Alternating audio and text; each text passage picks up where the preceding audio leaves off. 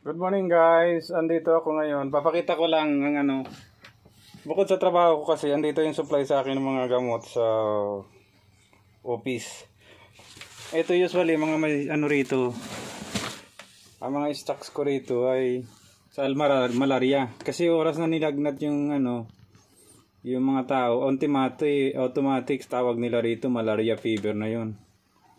Yun nga, dalawang option, may option ako dalawa rito, yung altimeter ito yung tinatawag na altimeter na projectable. 3 days siya. Ganun lang naman ang ano ng cure ng normal na malaria o lagnat dito. Ito may kulang na lang to. Bukas ako ng kompleto guys.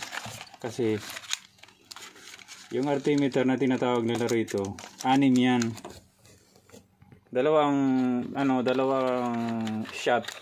Isang shot, dalawang perasong ito ang tawag dito yung injectable ayan guys sorry. Kung kumpleto ka kapag gamot okay naman magkaroon na ano rito. Mahirap lang talaga pag nagkasakit. Kalaban lang talaga rito malaria.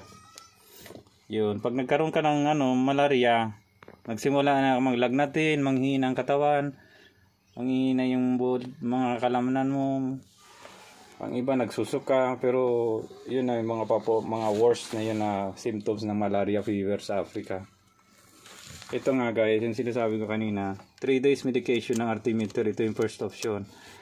Uh, tatlong araw na isang beses ka magpapa-inject. Dalawang piraso ng gagamitin ito. Ito guys, artimeter, di yata makita. Pero anyway, may, may logo naman dito.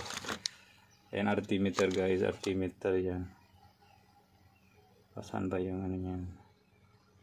Mabilis ako mag-video. Pero hindi ko makita.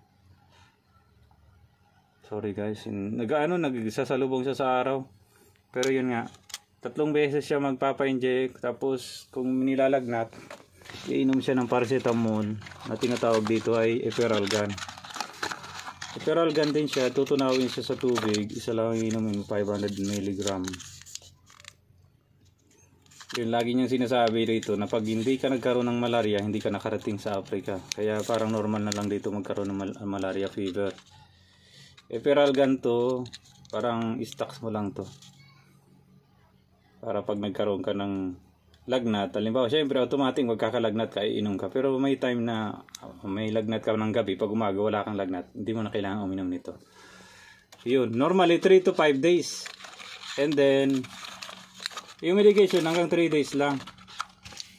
And hopefully after 3 day 3 to 5 days magaling ka na kasi pag hindi ka pa magaling baka may ano may komplikasyon yung malaria sa katawan or sakit.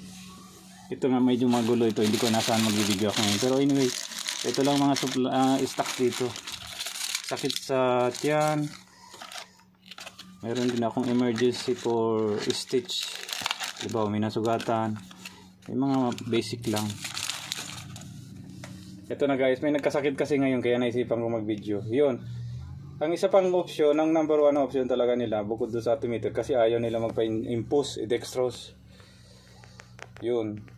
Ang gagawin, itong bukod sa option ng artimeter, meron ditong mag-inject, magpapa-impose ka, dextrose 3 days din. Usually, dalawang ganito. Ito gamot to ng pangmalaria. Kinamin ang tawag nila rito screen ko na lang sa sulat ko na lang sa screen guys. Kasi medyo maliit talaga at saka multivitamin B complex. Usually dalawang multivitamin B complex at saka isang kinamin pero option din ang ano siguro isa lang gusto nila kasi sobrang lakas talaga nito guys. May time na ginagamit at siyempre naranasan ko rin magka malaria may time na talagang lakas ng impact nito sa katawan. Minsan nakakabingi. Ito yung ano ng gamot sa Africa talaga. Sobrang tindi ng ano dosage. Malakas ang dosage. Ayun may iba pa akong mga gamot dyan mga basic. Bukod sa malaria. Sakit ng tiyan amoxicillin, antibiotic may multivitamins din. Yun lang ng mga basic. Tapos ito yung mga dexa para sa mga katikati. Ayaw niya mo masyado mag order na marami na gamot.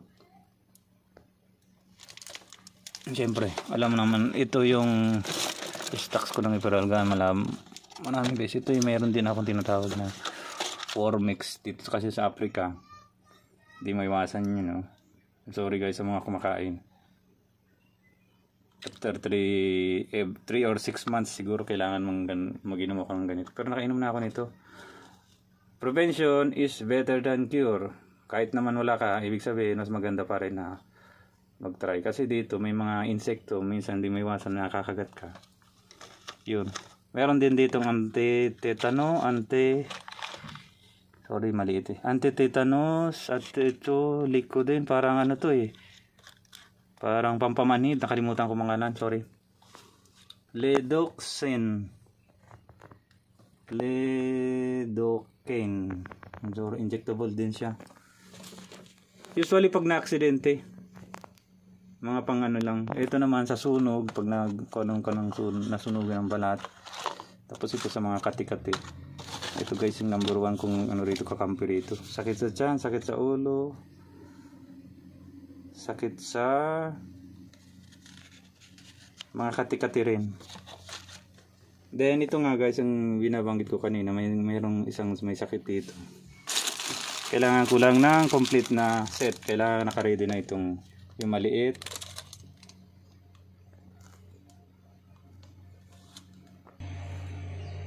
Ito guys yung naka-ready ko na. Pag oras na nagka-malaria ang tendency ng malaria sa ano sa isang nagkaroon ng lagnat. Giginawin talaga siya. Ay magdaano magchichill siya ito number one na kailangan kailangan ito yung paracetamol na dextrose. Para bumaba ang temperatura antimano siya mawawala yung mabababa yung ano niya mawawalang pag-chill. Tapos it nga sinasama yung kinamin at saka isang kinamin isang vitamin multivitamin B complex tapos ito i-inject ito rito para ihalo sa dextrose. Yung normal na dextrose lang to. Then ito hose tapos may alcohol na rin ako tsaka may cotton and then extension hose para sa dextrose. And then ito eperalgan itong ibibigay ko sa isang worker dito na may sakit sa ngayon. Papahingi siya ng dextrose. Sinantay ko lang yung ano yung marunong mag dextrose kasi wala na yung ano namin eh. Nasa forest yung nagde dextrose okay guys. Ito na muna